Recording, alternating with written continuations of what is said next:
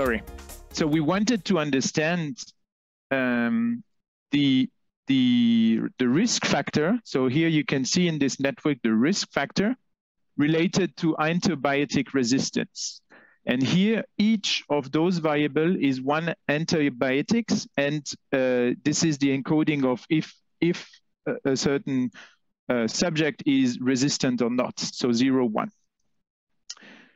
Um, in this example, um, the, the purpose was after an introduction of a new legislation in, in Sweden was to understand um, what are the protective factor and risk factor for, for animal welfare.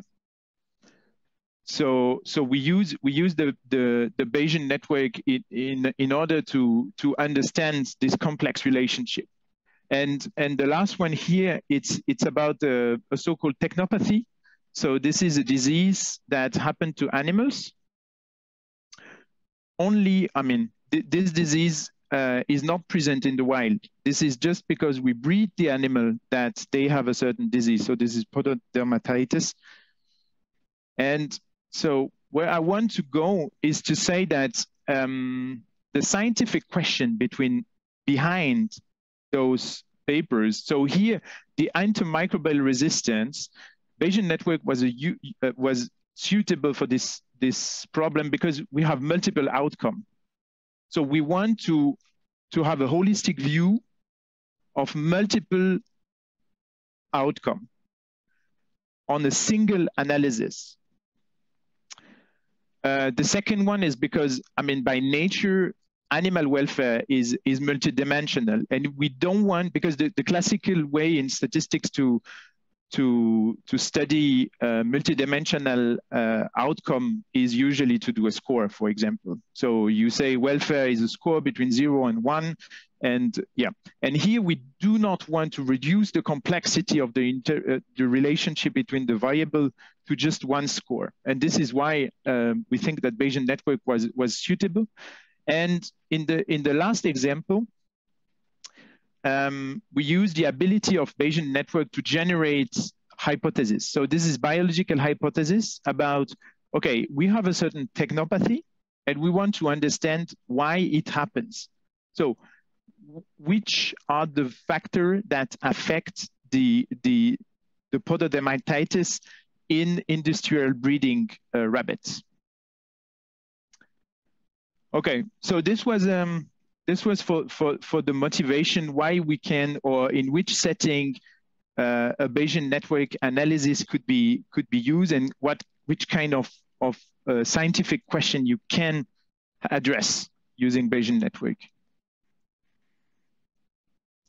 Um, okay, so now uh, I want to situate ABN or the Bayesian network into the, the big landscape of machine learning. So you can see here that you have the, the three pillars of, of machine learning. So the supervised learning with regression classification, um, you have the reinforcement learning, and we you have the unsupervised learning.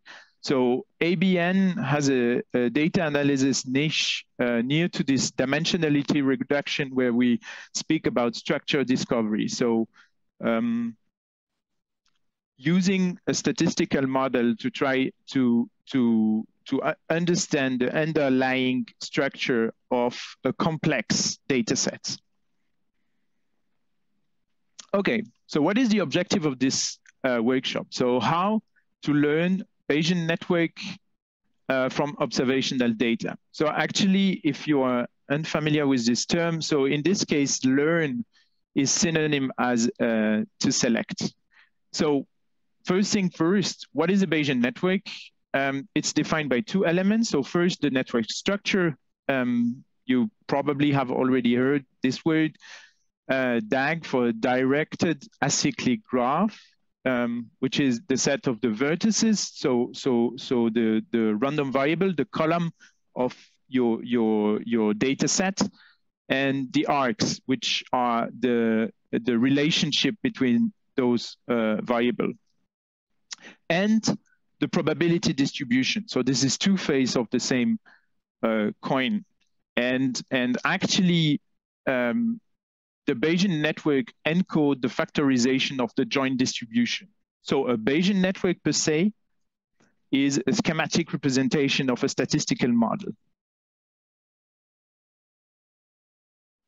So how, how it works in practice. So from observational data sets, so the idea is to deduce a probabilistic model. And from this probabilistic model is to deduce the structure. So the, um, the, the feature of, of ABN uh, compared to other software to learn a Bayesian network is the fact that uh, ABN accept multiple kind data type. So um, uh, binomial, Poisson distributed, so counts, uh, multinomial, and and and the Gaussian.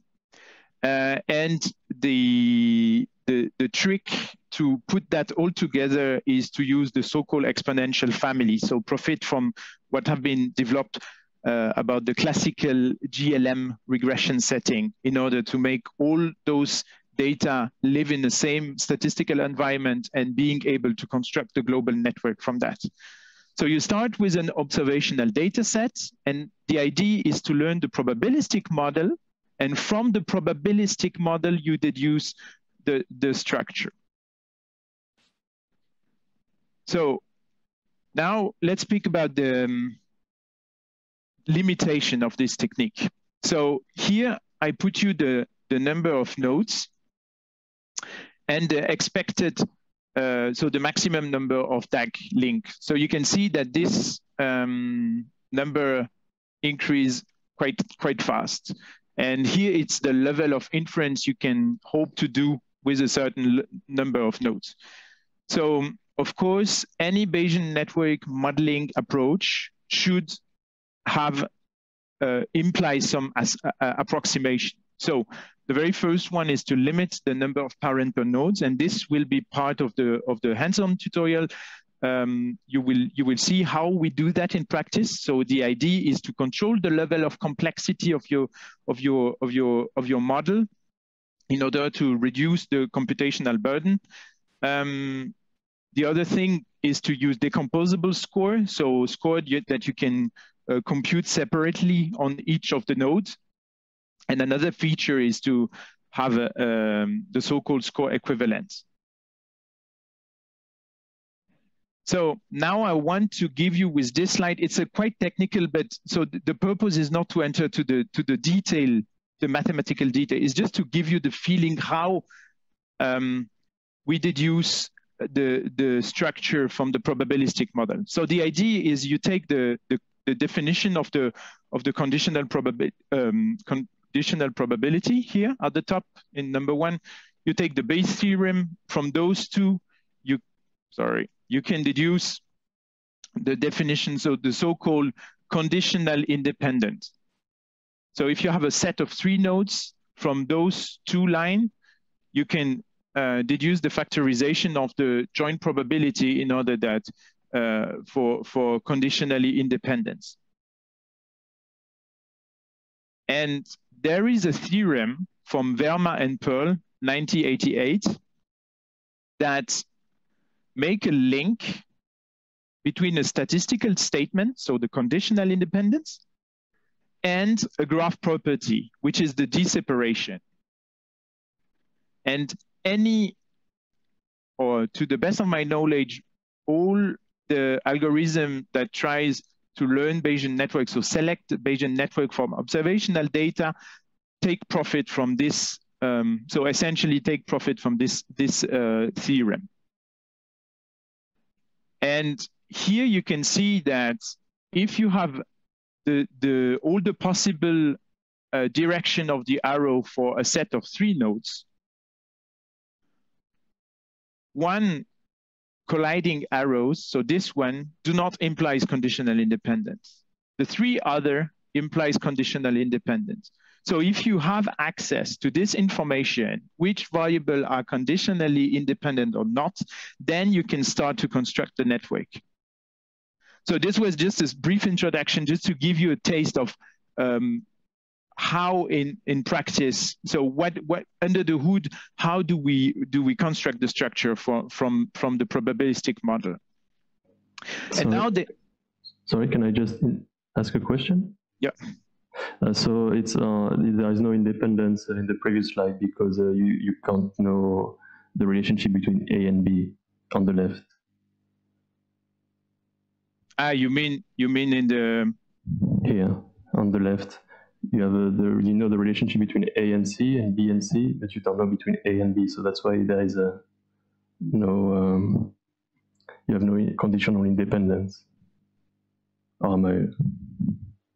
Okay. Um, so so um, I'm not entirely because the so the point is um, if you if you want to factorize this uh, set of three nodes so um, if you write the probability of A, B, C, and you decompose this probability knowing that this is the structure you expect. So, so the joint probability of ABC is uh, the probability of C give, uh, given A times the probability of C given B. Mm -hmm. And if you if you um, so if you if you continue to work on this um, this expression, you can show that it implies that there uh, you you cannot factorize that using uh, conditional independence. No, or did I? Yeah, no, it was just a a, question. Uh, why why is it, this part is not on the right? Because uh, you have no no. I mean, from what I see, that you can't infer from uh, this graph the relationship between B and A. You don't know. Oh, I don't understand what this. Uh, it means that A uh, uh, causes C. No. So so maybe if you if you want with, during the hands-on exercise, we can. Um, yeah. I, uh, we can have a further chat on on on that. No problem. Sorry. Thank you. Um, so um, so there, there is so so the idea of the learning uh, Bayesian network. Um, there are two class of algorithm to do that. Either you you directly test the conditional independence and you can construct the structure from there, and this is called the constraint-based algorithms. Or and ABN lies on this side of the of the of the slide um, this is the so-called search and score algorithm. So the idea is to maximize the uh, so-called a posteriori score. So essentially, you, you take a score. In this case, it could be BIC, the log marginal likelihood, or, or there are some uh, Bayesian-Dirichlet score that, if they are well designed, um, you you you if you maximize this score, the structure on a stru conditionally to a structure, the structure will represent well your data. Um, so the task of learning a Bayesian network, uh, it's a it's a two-step process. So you have the model selection, so the structure learning, and you have the parameter learning, so parameter estimation. And here it's the it's the the the Bayesian view of this uh, two-step process. Um, for so everything I said up to now is quite general. So now I want to go more focus on um, ABN. So how ABN is working in this case, so again, it's a search and score algorithm. So the idea is you construct a big list with all atomic possible structure. You use a model, in this case, a GLM with the exponential family, in order to have the score for each of those atomic network. Then after you use a certain uh, algorithm. So in the hands-on, you will see that there are an exact algorithm and there are some heuristic algorithm as an example. And you try from the atomic, so from this big list to, to put all the nodes and to maximize the sum of the score. So the global score of your network. And finally, you have a structure that has the highest uh, posterior probability. And from conditionally to this network, you uh, compute the marginal posterior density, so essentially the, the regression estimate. So conditionally to the structure, you estimate the parameter for the arcs. Um, so in R, using ABN, it's the sequential application of uh, three functions. So build score cache to construct the cache here in gray.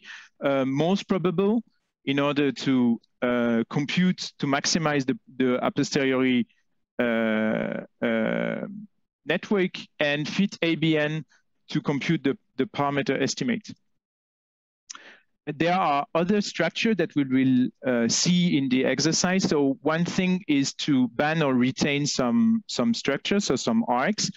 So you can imagine that, for example, if you in your data set you have um, biological sex of subject or animal, no variable can influence those um, those uh. So the idea is to restrict your problem to um, relationship that are plausible from a biological or for, for from a from a from a from a subject perspective. So you can ban some some some arcs or you can retain some arcs because you can say yeah from a prior knowledge so uh, we know for the last 10 years that um, this there should be an, a relationship between this node and this node and two other uh, possible uh, feature are the so-called random effect for uh, accounting for clustering using mixed model. We are not going to discuss that in the hands-on and adjustment. Um, here it's a big map of uh, the different function implemented in ABN. So um, you have the core function, so the model learning with build score cache. It has a, a, a Bayesian implementation using Bayesian regression and MLE using the classical GLM. Uh, you have some search functions, so most probable for doing the exact search. Uh, search, uh, there is a hill climber and there is a, a heuristic that implement different heuristic algorithm in order to maximize the score of your network. And then after for the parameter learning, there is the fit ABN function that returns you the, the, the value of the of the coefficient. And again, this is there is a, a Bayesian and an MLE implementation. Um, additionally to that, there are function called ancillary function for analysis that you can you can uh, use. So, for example, what is in this one? It's a it, there is just a MLE implementation. It's uh, with what is the contribution of each of the observation to the global score. And uh, there are some function to do some simulation. So you can uh, simulate uh, DAGs or you can simulate uh, ABN data. Excuse me, can I ask something? Yes. Uh, so is there a need for a prior in this process? Um, uh, yes, so ABN, so so there are multiple priors that um used. So um, you can have a so when you do the, the most probable, you need to have a, a prior for the network. So how do you determine the prior? In this case, uh, two prior are already implemented. So you use a default value? Yeah, there there are there are um, to if I remember well, uh, there are uh, purely uninformative prior, um, and we implemented two informative, semi-informative priors. Yep. So so there are some default there, and and uh, so this is for the prior for the structure, and there is priors for uh, parameter estimation in the Bayesian uh, setting of uh, Bayes score cache or fit ABN. And uh, here uh, they are implemented, uh, they are hard implemented in the code. So this is a weakly informative priors. So, uh, excuse me for asking again, but um, uh, I've seen in some um, that some reviewers always, when there is a Bayesian application, they ask how you determine the priors and ask why you are using the mm -hmm. the default ones and not something else. So, I I'm not sure I understand the way you'd select the the priors. So, so, so for, for, for the parameter, the default. So for the parameter estimation, there is no possibility, except if you if you modify the hard code, there is no possibility to choose another prior. Oh, so okay. the prior have been uh, selected because um, this is the only possibility. So using those prior is the only possibility in order to make uh, the computational uh, burden accessible on a on a laptop machine. So essentially, the choice of the prior is driven by um, the, the, the computational complexity of the problem.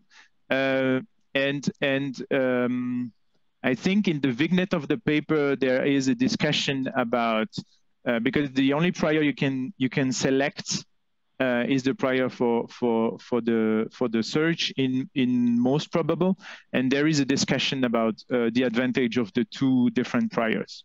Yeah.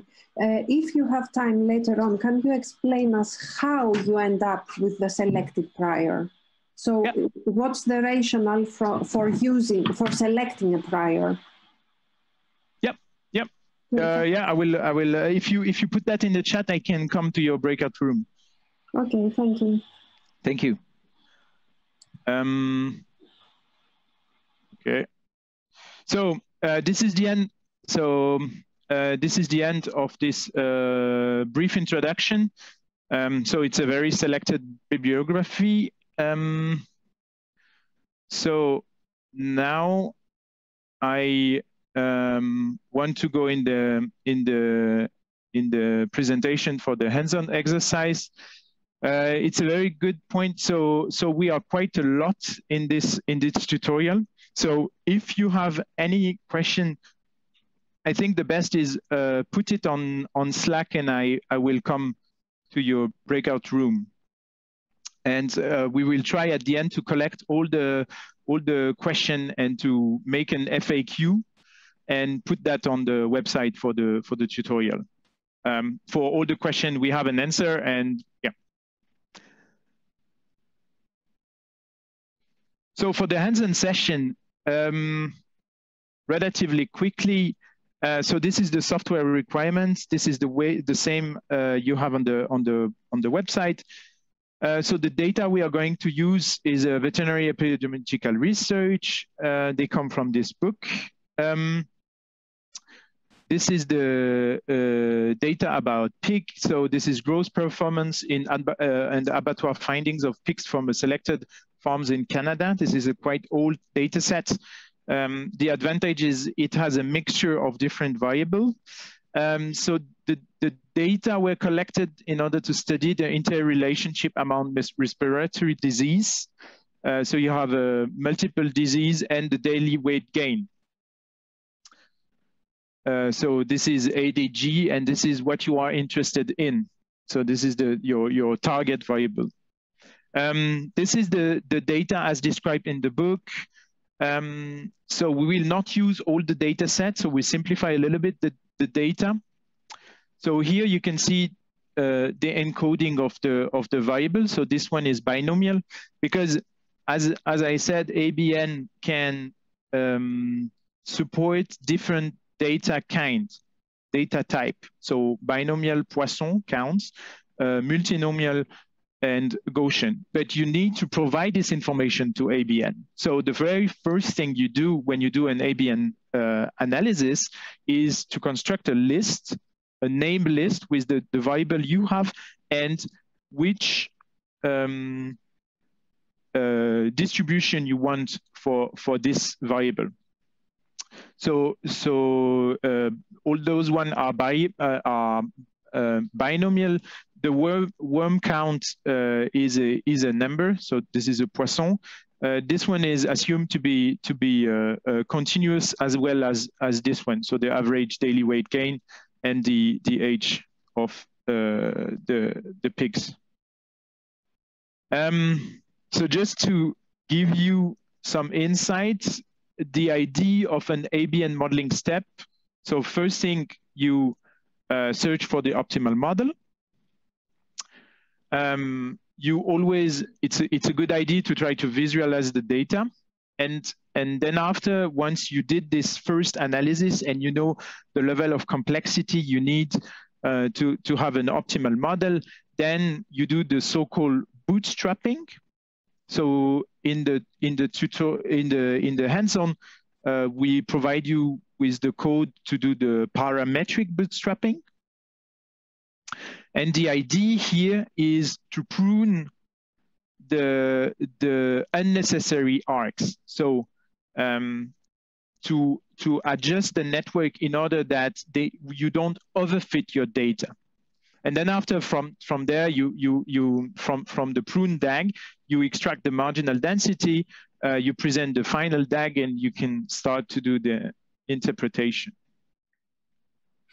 Yeah, very good. So, so, so as a, as a, um, as an idea, so the idea is, is, is, um, uh, it's not an academical exercise. It's more like uh, you have a, you have the code, um, you you have the the output, and and the idea is to to to understand how an analysis is is done, which steps are necessary, how you perform them, and again, uh, this is quite debatable because uh, we present uh, for the bootstrapping part, we present uh, uh, parametric bootstrapping, but you can also do non-parametric. So essentially sampling inside the data set uh, in order to, to, to prune your network. Hi, everyone. Again, back to the main, back to the main room. So I did not have the chance to pass to all the all the room, but I hope that you you if you have uh, some question, you can you you you have the chance to ask that to the, them to to TA. Um, so what we would like to do in the in the next 10 minutes is uh, now now you you have seen this exercise, this hands-on, um, to go through the hands-on a little bit together and discuss important points. So just from the from the from the table of content, so um, this is this is uh, the preliminary. So so the the idea of this, uh, I I put that in the chat in the Slack. Uh, so the idea of this uh, hands-on exercise is more to provide you with an entire code that could be used in another context for another analysis if you want to reproduce that with your own data. So um, all those points here it's more like the preliminary uh, steps you need to follow in order to format the data in order to ABN to understand your, your data. And um, this one is um, to do the first run um, and to um, identify which complexity level is required by your data. Um, and, and from this point here, it's about parametric bootstrapping.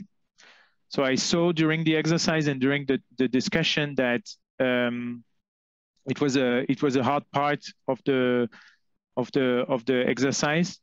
So here the idea of the parametric bootstrapping is so you identify the model you think that represent well your data. And the question from there is to know if this model is too complex in a sense that it contains some arcs that are unnecessary. So if you overfit your data, from this question, you have two directions possible. The first one is to do parametric bootstrapping. So essentially generating data from your model and doing a search over and over on the generated data. So this is what is presented here. So this is the parametric bootstrapping. Another approach would have been, and for the next version of the tutorial, I think I will go in this direction, would have been to use a non-parametric bootstrapping. So essentially, a, if I may say, a for loop where you sample your data set. So essentially you, you sample 80% of your data and you do a search on that and you do another search on on another 80% and etc and etc and you generate many many many many search. So you have lots of dags. And at a certain point you try to combine all those dags to identify which arc are well supported by your data and which arc are not and and the last part is more about presenting the the, the result so we can maybe quickly go into the into the, the HTML page. So this is to plot the data. I always advise you to do that before doing any uh, Bayesian network analysis. Um, so this is the point where you, you, you choose the distribution. So you need to assign every variable to a, a distribution. Um, this is the part where you um, give the ban and retain. So which variable are going to be, um, which arc are going to be banned, so uh, discarded from the analysis, or which are retained, so always present in the analysis. On which basis is that? Uh, prior knowledge. So there is no, so this is something as a subject expert matter, this is your job to know um, what should be banned and what should be retained. Mm -hmm. So there is no general rule. Of course, the more you ban and retain, the more external input you put in the process, the, the, the more uh, feasible the analysis would be and sensible because the advantage of banning an arc will prevent ABN from returning an, a, a DAG that, that is from, from, from the subject expert matter nonsense. So if you know for sure that an arc could not exist, then you should provide this information to ABN before. Okay. Yeah. Um, so one maybe one important point is this function build score cache which create the cache and again here the naming is is maybe a little bit limited because um, this is a complex object that is a list that contain all the information needed for most probable and other function to optimize your network. So essentially, this is not just the cache, it's much more than this. So once you have this object, you, you fit that into the, into the most probable. So in this case, an exact search. Um, you, you have the network and you fit this network. Again, this function returns you a complex object, which is a list that contain more information and uh, everything that is needed for fit ABN to return you the, the, the coefficient. Here we just extract the, the, the network score. And from there, this is where you start to uh, identify the level of complexity that is needed in order to represent your data well.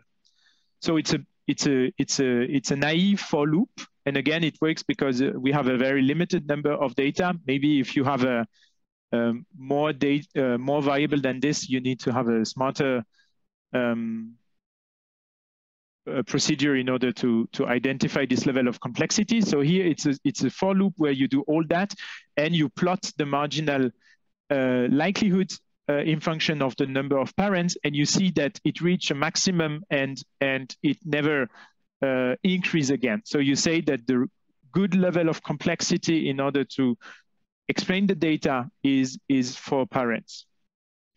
Um, so you plot this DAG, and again, here you do one search. So you have your data, you put everything inside, you have the level of complexity, then poof, you generate the DAG. The problem, and this is what is discussed here, it's, it's um, highly probable because this model is very complex and the number of data is very limited. So in this case, we have 341 observation, which is not a lot. And this is very likely that you will overfit your data.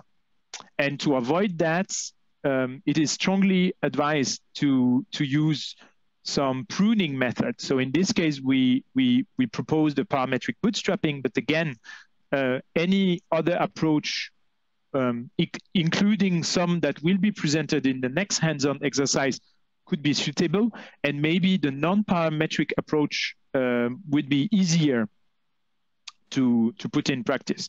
So here essentially the idea is you have a certain model. From this model you can generate some data.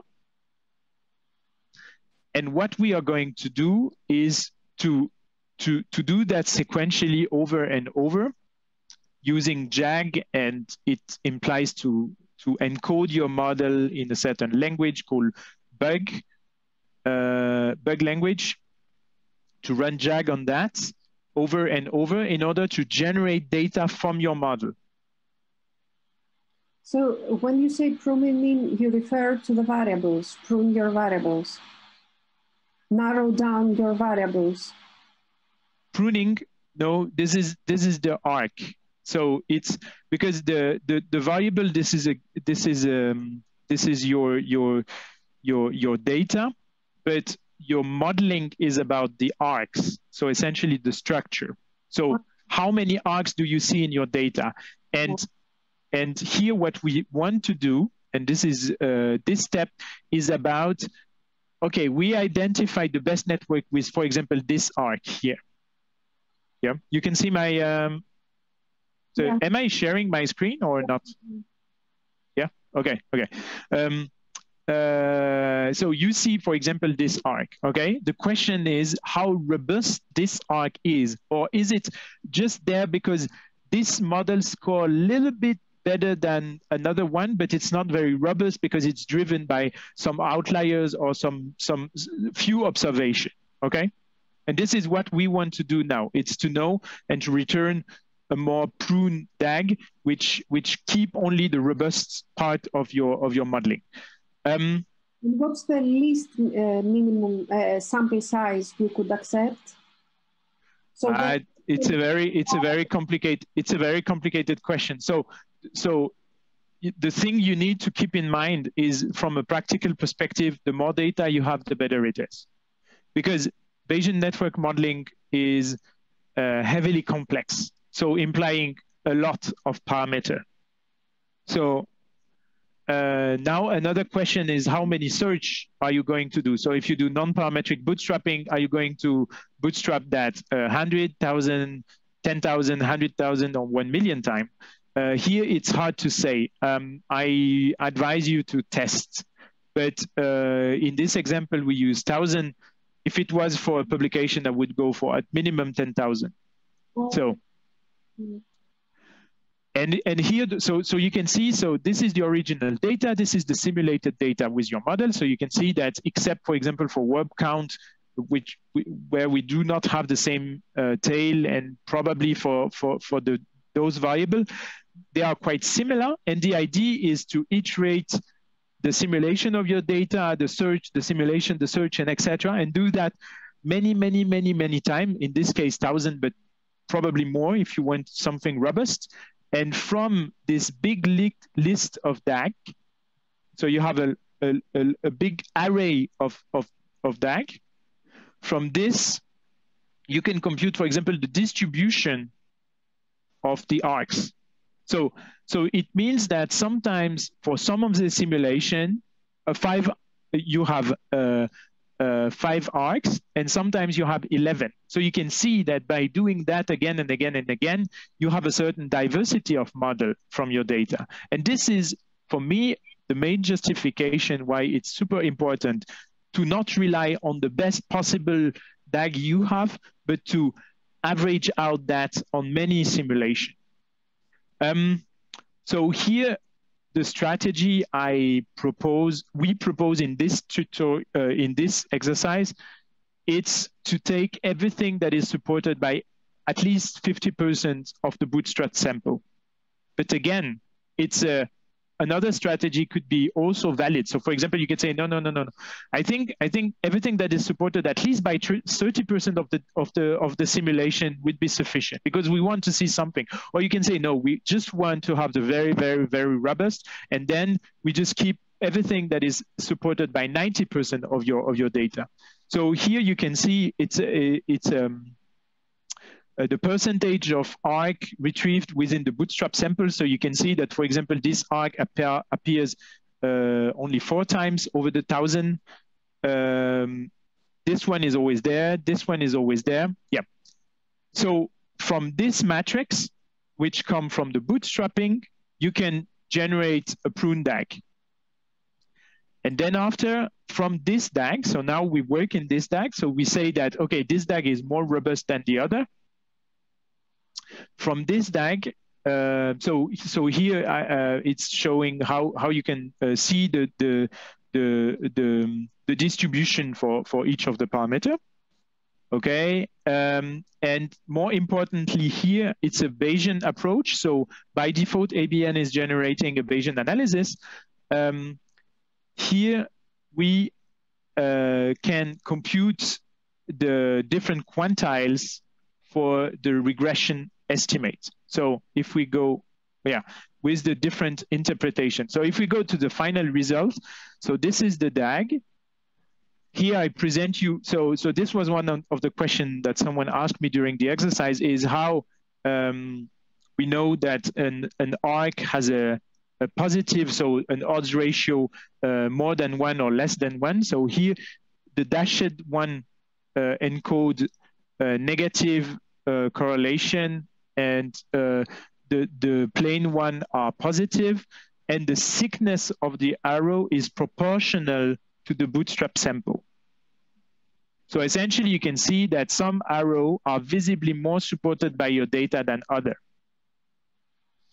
And you have the table of coefficient here.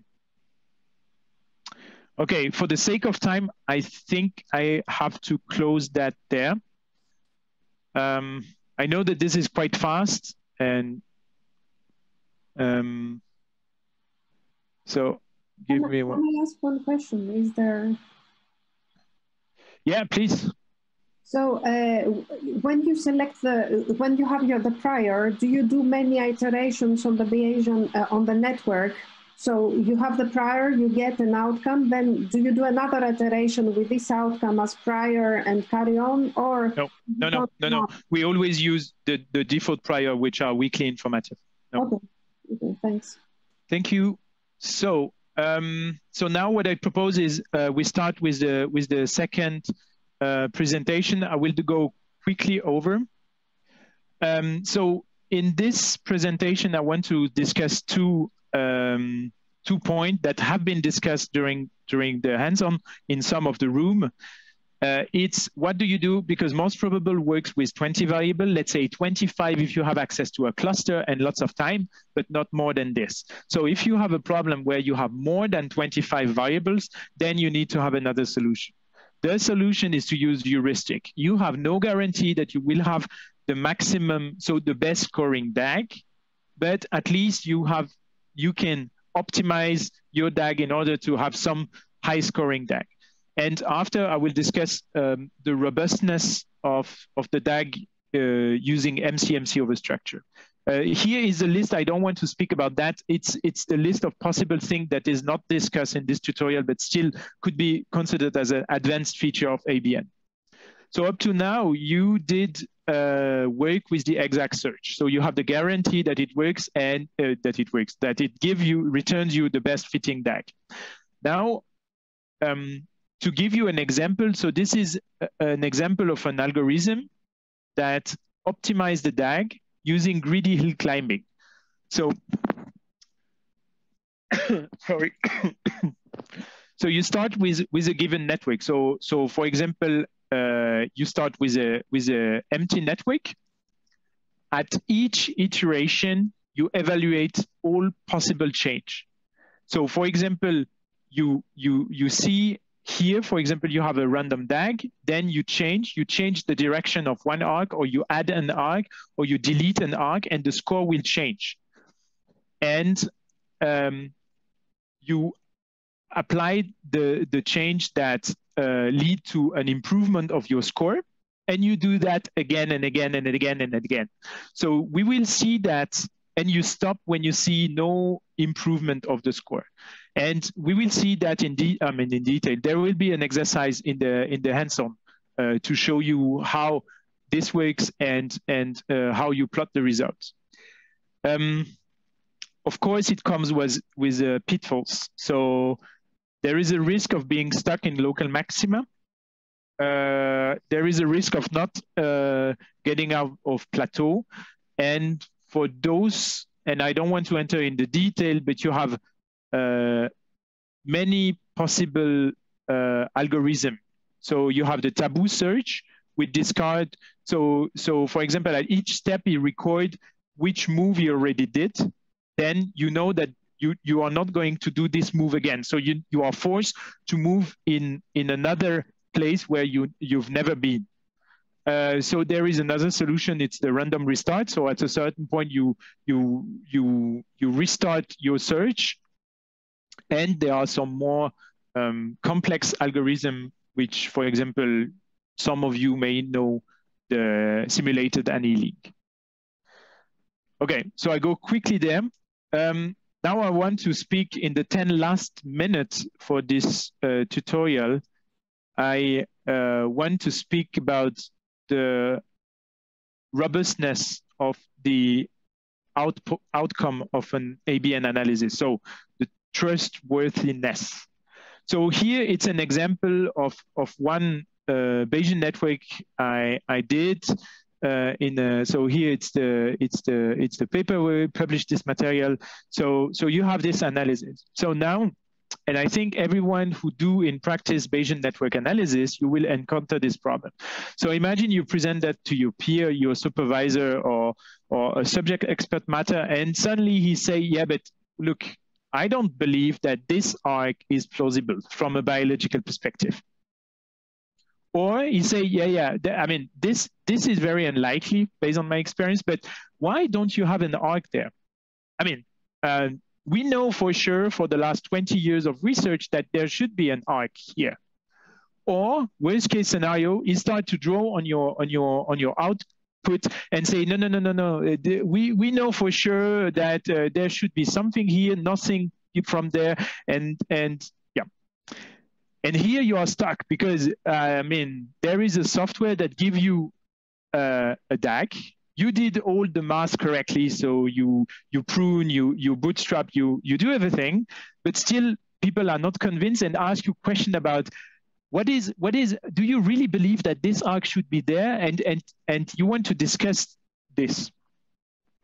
So the idea you have when you do a bayesian network analysis or abn it's that the best possible dag so the one you present it's there is a huge gap between this DAG and the alternative network. So this is the idea we all have in mind, yeah? So we identify the best possible DAG and, and it's, it's best in the sense that it's well separated from all the other possible network. But what about the situation where you have a competitive network? So a network that score quasi equally well, which is very different, but have a a, a, smaller score. So in your paper on your research or, or, or, or to your peers, you present this uh, network, but this network visibly count also because it, it, it quasi does the same score, but a very, with a very different interpretation. So what do you do? And one possible solution for, for addressing this issue it's to do the so-called MCMC overstructure. So we will have a small worker like this. And the idea is, again, like we have in the heuristic search, it, can move from structure to structure. So it can add an arc, delete an arc, reverse, or shuffle part of your network. And the idea is the uphill steps are always accepted. Um, moderate downhill is usually accepted and you almost never accept the, the steep downhill. And by letting this worker moving from structure to structure, you can sample the posterior distribution of all the possible network. So here you have the DAG score. Uh, in, in this part of the graph, the, the gray zone here is the burn-in. So this is something you discard after because you you think that um, um, your MCMC chain chains. So MCMC stands for uh, Monte Carlo Markov chain. So Monte Carlo, it's uh, it's uh, it means uh, random, and uh, Markov chains means that the the the next step you are going to to do is only influenced by the last step. So you forget about the past. Um, so the MCMC chains. So, so here you can see that we have, a, a, a, I think, four uh, MCMC runs. So here, yeah. And you can see them moving from DAG to DAG. And what you have here, it's the posterior distribution of all the possible model. And, and here in the, in the, in the zoom out, it, this is the same, but with a, with a much, much larger number of steps, just to show you that it converged to the, to the maximum. Okay? From this distribution, what you can do is instead of presenting the best unique possible network where essentially an arc is a zero one relationship. So you say there is a relationship, there isn't a relationship. Instead of presenting a zero one DAG, you can start to have all your network stack one to the other, and you can count the prevalence of the arc. And by doing that, you can do the so-called structural queries. So essentially, you can start to compute the probability of having a certain structure. So what is the probability of having an arc? Or what is the probability of one node being in the neighborhood of, I don't know which node? Or more interestingly, I think, what is the probability of not having a, a, a relationship between two nodes? So um, so the MCMC a structure, so the idea is select the most probable structure, control for overfitting. So, so with this, uh, so this is implemented in MCMC ABN. So it works well with the output of ABN. So the idea is you can select the most probable structure. So you can use that as a heuristic tool you can control for overfitting because as you have access to this DAG, you can start to select which arc are needed and from each arc are not needed. But most importantly, this is the, the dose line here. By sampling the landscape of high, high scoring structure, so in an applied perspective, you avoid to reduce the richness of a Bayesian network modeling to only one structure. So you don't present one Bayesian network, you present the entire posterior distribution of the Bayesian network. And, you, and then you can quantify the marginal impact of a relationship by marginalizing over structure. So it means that by having all those DAGs, you can have an idea of what is the effect of, of one variable over another in the global context of all the possible network. So, yeah. Um, so now we will jump on the hands-on exercise. So, yeah, what I propose is uh, we can we can uh, do uh, as before, and I will uh, we uh, the TA will will try to uh, pass from from one breakout room to to another. Uh, Reinhard, do you know if the, the, the co-host you you you put last time they are still co-host or they're still co-host i didn't uh, take great. those away and so hence i would uh, reassign to the same breakout rooms there have been some uh, uh leaving or not uh, so the breakout rooms may not be as equally distributed as they were before but in interest of, of time we keep it that way